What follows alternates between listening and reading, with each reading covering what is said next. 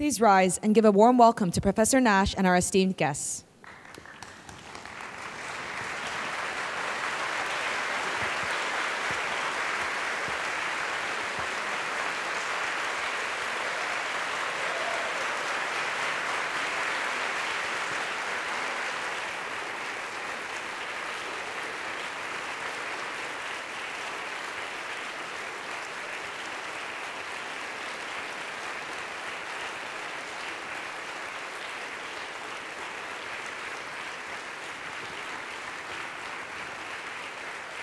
Please have a seat.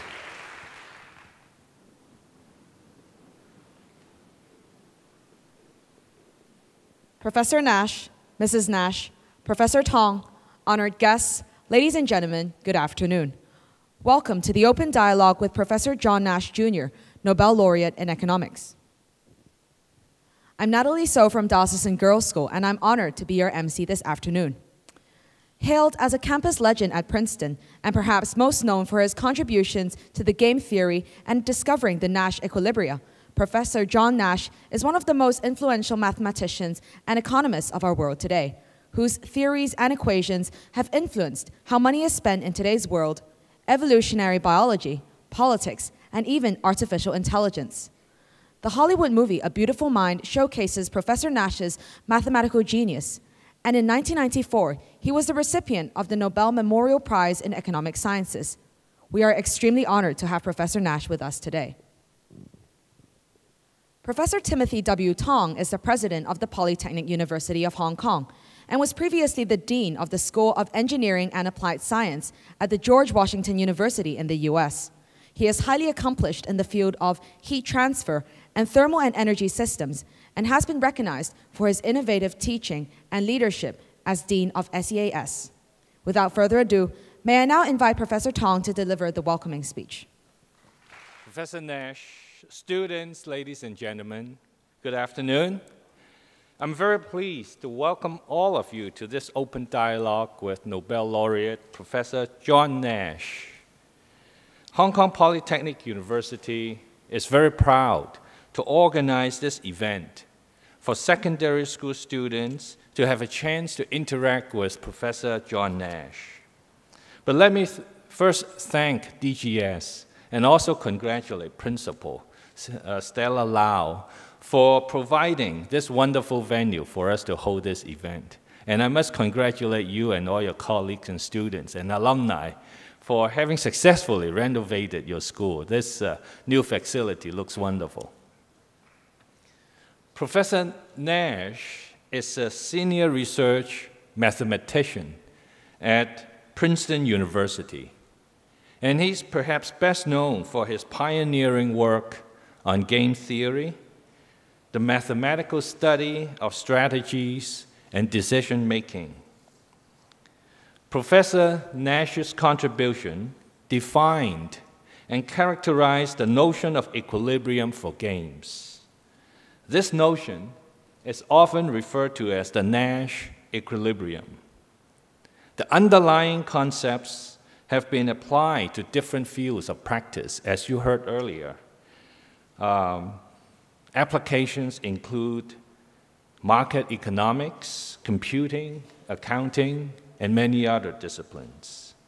In 1994, Professor Nash was awarded the Nobel Prize in Economics in recognition of the value of the game theory in solving real world problems. At PolyU, we are keen to enrich students' experience through meaning, meaningful activities like this open dialogue.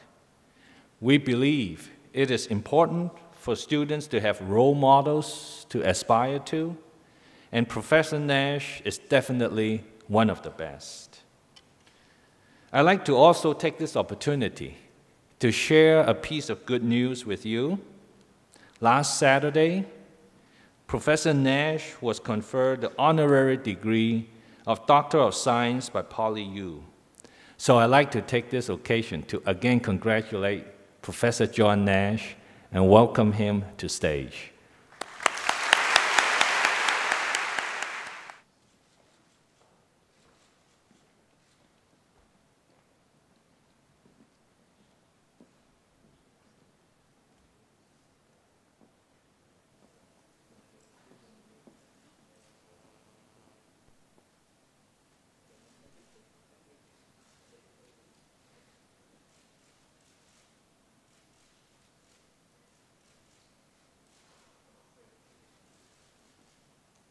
Thank you very much.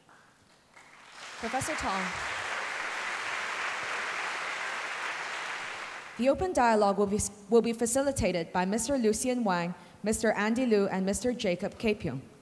Mr. Lucien Wang is the champion of the senior division of the Hong Kong Federation of Youth Groups Standard Chartered Hong Kong English Public Speaking Contest 2011 and is now studying in year 11 at King George V School. He has also been a student facilitator in an open dialogue session with Professor Gabriel M. Leung, the director of the Chief Executive's Office, in late August at the closing ceremony of the Summer School for Effective Leadership at the University of Hong Kong. Mr. Andy Liu is the gold medalist of the International Physics Olympiad 2011, as well as gold medalist of the Australian Mathematics Competition 2010 and 2011. Currently, he is studying Form 6 at St. Paul's Coeducational College. Last but not least, Mr. Jacob Kapiong is a second year international student from Denmark pursuing his BBA program in marketing at PolyU. He travels a lot and has stayed in Shanghai for more than a year prior to his studies in Hong Kong. He also speaks Putonghua fluently. I'll now pass the time to our three facilitators. Professor Nash, it is really a great honor for us to meet you and learn from you, one of the most legendary mathematicians.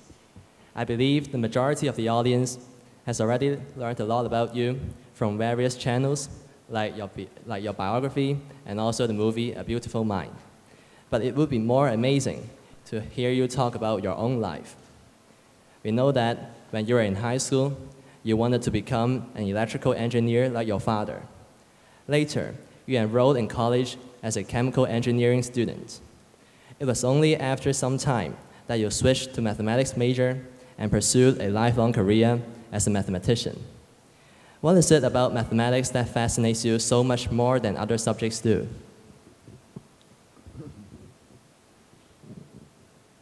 Well, you know, some of those decisions were made on the basis of what was considered to be practical rather than what was considered to be most, uh, most attractive from another point of view. Like uh, the chemical, to, to enter as a chemical engineer instead of electrical engineer. Well, uh, at that time, chemical engineering did seem to be a good field of study in terms of having a career with good income and uh, the, the situation is, is still very good. All this time it's been a, very good field of engineering. And uh, the switch from chemical engineering into chemistry was in part, on the other hand, because the difficulties in the program of study for chemical engineering at Carnegie, at Carnegie Tech, where I was studying, there was a requirement of mechanical drawing, draftsmanship, and I found that difficult because the chemistry, which is science rather than engineering, seemed to be more attractive at that time. Then later on, there was the influence of the mathematics faculty. There was some well-known, there was uh, one or two well-known uh, figures in mathematics who were there at the time. Professor John Lighton Synge, for example, he was he, he had come from Ireland and he later went back to Ireland, but he was there at the time and uh, he, he, he, had influence on me, and as well as Professor Duffin. And uh, so it's not such a simple story how one shifts from one thing to another. But I, I always had interest in mathematics even before, before high school level. Thank you, Professor Nash. So it seems that um, you have demonstrated your talent in mathematics at a very young age. Um, I guess the audience has uh, warmed up now, so perhaps we could accommodate a question from the floor.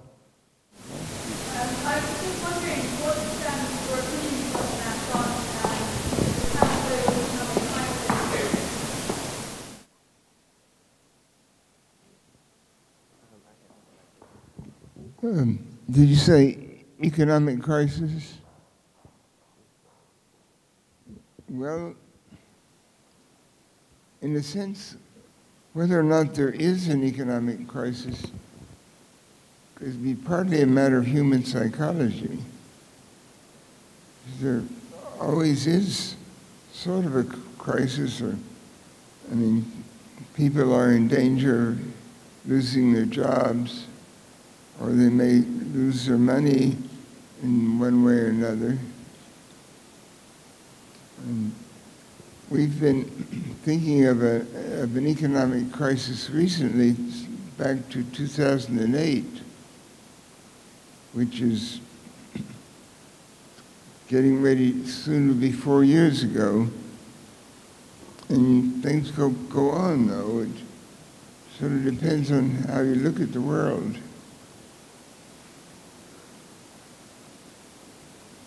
Besides that, you might have something else to say. Well, Professor Nash, since you are within the field of economics and mathematics, and I, on the other hand, is within marketing and management, you and I, we may not speak the same language to some certain extent. But there is one language which not only you and I, but also all the rest here today are sharing and that's the language of music. Now, to me, music has been playing a vital role when overcoming great challenges during my life, and it has inspired my creativity. So, my question to you is what does music mean to you? And has it played or been a vital role in, during your life? Music has, has been has been important to me psychologically. Though I have not been, uh, I have not had an instrument or, or, learned an instrument. I have not learned to read music. Um, one influence in my life, I think, was that my mother suffered from a partial deafness. And uh, so she didn't do so much in music. She could sing, she could, uh, her, her deafness related to an illness that she got as maybe an early teen or in between uh, scarlet fever and uh, you start out with normal hearing, but then you have an illness and you have much weakened hearing. And uh, so I didn't, I didn't have, and it wasn't under too much influence to to, to study music or to play an instrument or anything. In, in early years, I did do some choral singing, like uh, singing in choirs that were uh, would sing at a church in the hometown.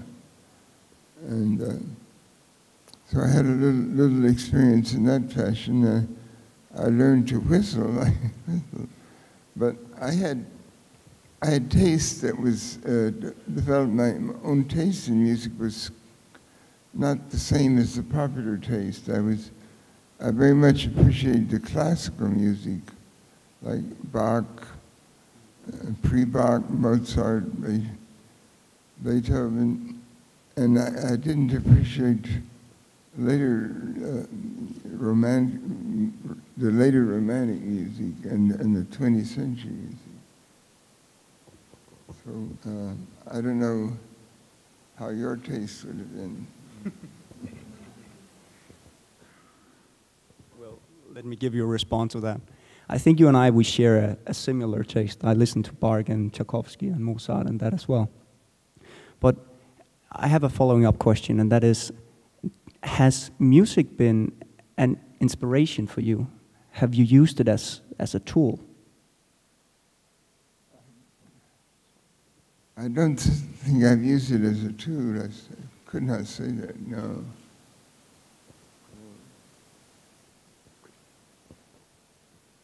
Well, thank you for your answer. Good afternoon, um, Professor Nash. Well, I would like to ask a question about whether economics is a science.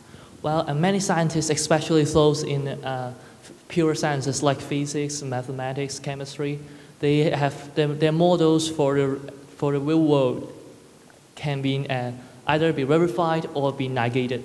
But for economics, uh, many of the uh, Nobel laureates, like laureates that won a Nobel Prize for developing a certain economic model, they loses their money in their own model that is proven to be true.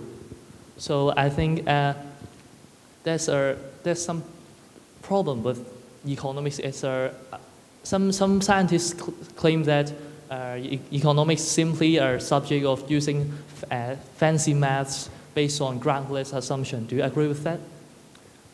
I'm, I'm sorry I didn't catch all the words as you were speaking. I, I, I, my, my hearing, perhaps like my mother's, is by this time it's not, it's not perfect. Um, I think the gentleman was asking whether there is a possibility of having a rigorous scientific treatment to economics, or uh, is economics rather more of a social science, or is it a um, rigorous scientific subject? When you use the word social science in the sense that implies that something called a social science is not scientific, which, um, which many, many scientists would agree with.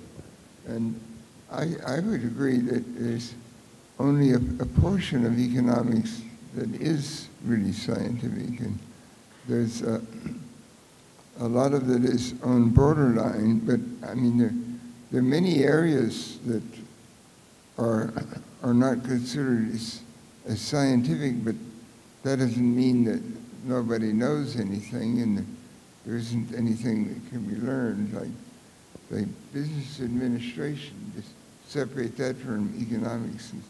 Is this scientific? Well, a scientist generally would say, no, that's just sort of some practice. It's similar to studying law you have a lot to learn in law, but it's not science.